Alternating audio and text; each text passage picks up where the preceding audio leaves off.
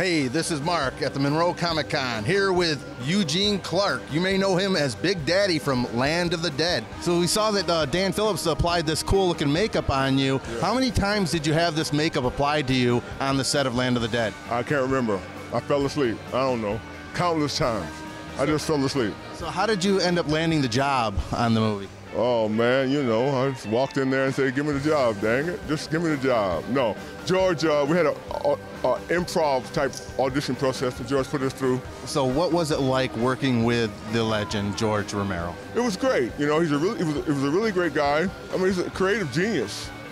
Because of him, look what we got now: Walking Dead, iZombie, this movie, this zombie, everything is zombie because of him. George passed away just recently. Yes. What was going through your mind when you heard of the news?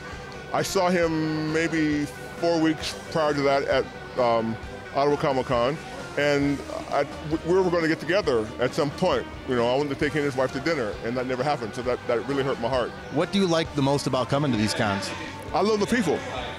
This is all about the people, because with, without them, there is no Walking Dead, there is no Arrow, there is nothing. Because if they don't show up, if they don't watch and love the characters, we don't have this. I love meeting the people. I love seeing the joy in their faces. Um, I try my best to always make sure their experience to me is a great one. It was a pleasure talking to you, Eugene. Thank you. Same here. Have a good one.